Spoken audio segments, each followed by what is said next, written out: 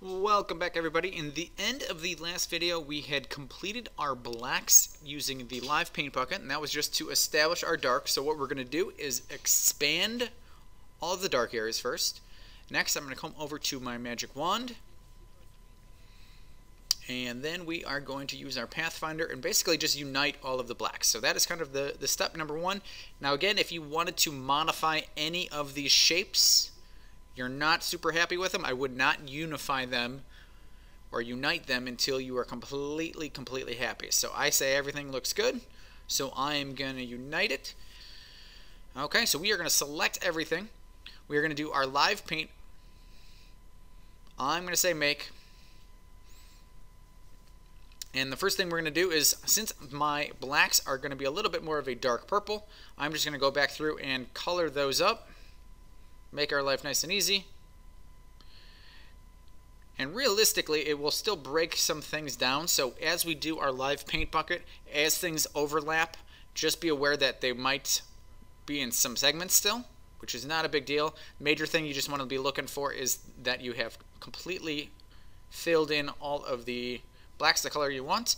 Next, you're just going in and coloring them pretty much the flat or uh, kind of a, a good hue and then we can always come back. So it could be two different philosophies, and the number one is just kind of go straight at the color that you want. The other one, since we are going to be adding some shadows as well as coming back and adding some highlights with the gradients, then you might go just a slight bit darker than what you would want, and then brighten them up with the, the gradients in a later phase. So all we're doing is coming through, Keep in mind what the live paint bucket does as well is it also creates a new shape. So that is another reason that I do like this as well. So you don't have to do a whole new set of uh, Pathfinder and or do a whole new set of the pen tool by creating new shapes. So this will actually do it for you. Does the exact same thing as a Pathfinder would do. And it is literally 10 times easier. So this is a great strategy. If you have not done this, I think this is a very, very easy thing for beginners to do.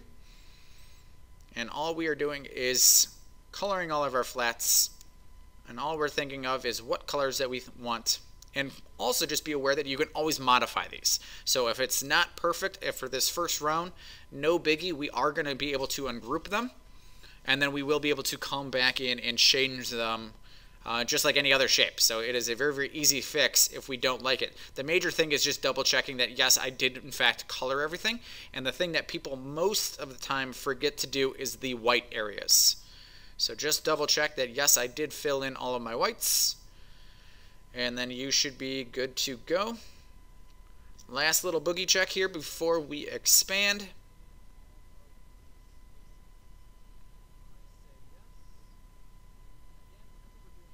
Alright, looks good. So I am going to black arrow, select, come up to the top, object expand. I'm going to hit OK. And then typically we will ungroup, and the magic number is usually 3. I'm going to deselect, select, ungroup, and usually it takes around 3 times. I do not know why. It just usually takes right around 3, and what we're looking to be able to do is select each individual shape by itself again. Okay. Flat colors are done. So what I would do before moving on is I would knock down the tolerance to run around 5 or 10 and then unite all of your colors. So all of the darks, all of the face colors, anything that was kind of grabbing in separate chunks before, you just want to put those all into the same shape. So I would unite all of those before moving on. If you say, hey, everything looks good, then we are going to go over into our layers menu. Good. Now again, I would say flat color on this one. And we are going to duplicate this guy out. I will then lock out the bottom one. On this top layer, this will be our shadow layer. Shadow, shadow. Okay, now on this shadow layer, we're going to do something a little bit different. I'm going to go Magic Wand. I'm going to select the purple and I'm basically going to delete out the purple. Now, if you like having the purple there, no problem. It really doesn't matter since it's there's a, a duplicate layer directly beneath it. But we're just going to hide those. So we're nice and clean on this layer. And then it's also a little bit easier to see where our shapes are, especially when we are doing our cast shadows. So what we're going to be using is the knife tool. And what we are also going to be using is kind of a version of the line as well as the pen tool, especially for the more complicated shapes.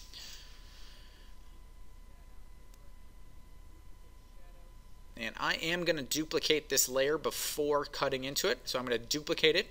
I'm going to go a layer above. I'm going to call it gradients.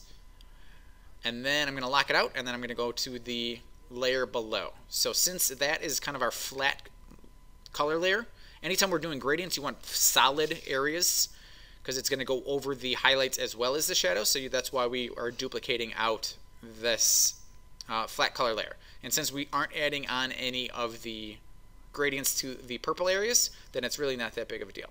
So the first thing that we're going to do is with the knife tool, select the shape, and then with the knife tool go all the way through. So the major thing is going all the way through those edges, deselect, and then I can color up one. Now for the hair, what we're looking for is kind of a drop or cast shadow from our headphones. So I'm going to use the line tool, just go straight through all of the shapes come back in, Shift C. And I'm just looking to mimic that curve as best as I can. It does not have to be perfect, by the way. Let's do another line. So this will be the shadow from the top part of the headphones. Shift C, let's just do a nice slight little curve. Looking good. So what I'm looking to do is select both of those new lines I want to hold down shift and I want to select the hat as well as the hair and then we're going to go into Pathfinder and we are going to divide. So the next little thing, whenever we do the divide, just remember to ungroup it. And then we should be able to come in, select our little shapes. There will be another little extra shape in there, just so you're aware. Color those one step up, and then I am uniting them, by the way. Same thing with the hair. One step up, and then unite the new shapes. And why we're uniting them, in case you, especially if you start zooming in, you'll notice that there's these really faint little lines. So that is just a nice little habit to get into just to clean those up so they don't show up on your final. All right, the next little cast shadow we are going to do is I want a little cast shadow on the hair and then around for the headphones. So I'm just, again, using the pen tool, and I'm just doing nice straight lines. I do not want to fill, by the way. And then we're going to do the same process that we did before. Just Shift-C. I'm just going to round out those corners a little bit. Same thing in the bottom. Round out those corners. And whenever we're looking, just make sure you go all the way through those shapes. So that's a real key. If you're using the knife and or if you're doing the divide, just double check that you have gone all the way through. Next, just double check that you have ungrouped. And then we can go one layer up. And then I just have my nice little shape. All right, looking good. All right, the next one, we're going to do a little bit more of a complicated shape. And this is going to be for the brill casting a shadow. And I'm just going to go from the corner and we're just going to pretty much just pull out a line. And this could be completely up to you on how far you want the shadow to be casted. Keep in mind we're going to go in two different directions. So it's going to drop down first and then we're going to pull up in the opposite direction. And what I'm basically looking for is the forehead and then, then a little bit of the top of the eyeball there. Okay, so as you are doing the cast shadow, just remember that you have the line selected, you're going to have the face color selected, as well as the blue part of the iris. Now, if there was a part of the whites of the eyes that was going to be covered, so if you really drop that shadow down, just double check that you have those selected as well. Then you are going to click the divide. Divide. We are going to ungroup. And then we're just going to go one level up. Same thing with the blue part of the eye. All right, looks good.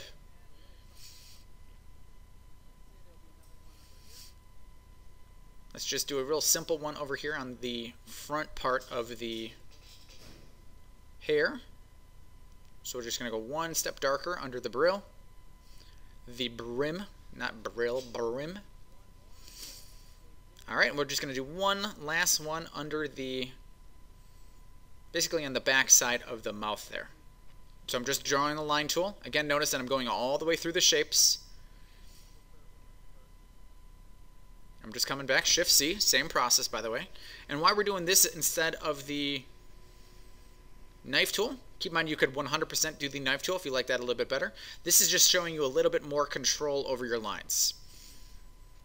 Other solution as well, just to give you all sorts of solutions today, is I could always do the knife tool and then I can always come back and minus points and I can always control that line sometimes you just have to mess around with the order. So a lot of the times you'll notice that you're going to be messing with the shape and it's going to be the one behind and it just doesn't show up. So that's the only thing that pops up or happens on occasion when you do the knife tool and then try and modify that edge or the stroke. Alright, have both of them selected. Divide, make sure you ungroup. Color that back part. And then just notice that there's that little gap so we are going to come back in. I want to select both of those shapes, and we're just going to do this with the knife tool, by the way. And then just go all the way through. And I'm going to select the two new shapes. And we're just going to color those up. Looks good. And now I will unite those as well.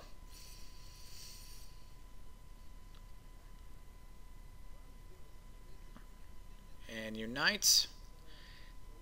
So just before we move on to the next step, you're just looking for any random little stray lines that could be poking through your colors.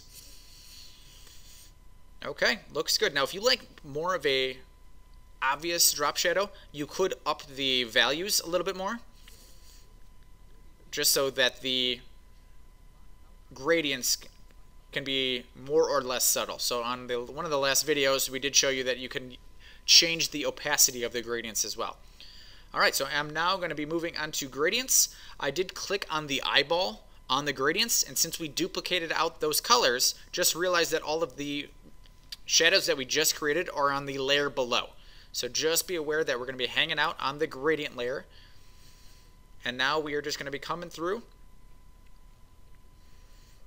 and then just going light to dark pretty much on each one. So it's either going to be a linear one and then if you want to have more of the values come through, we are going to be changing the opacity of each of the colors. Now we're going to be doing this on the inside of the mouth as well as the tongue. But notice that we did not do any cast shadows in those areas. So I'm not changing the opacity on those two just because we didn't change those up at all. Just so they pop out a little bit more. Alright, we're going to do the face go light to dark, and you might need to change up the direction a little bit. Alright, so we're just going to change up those colors.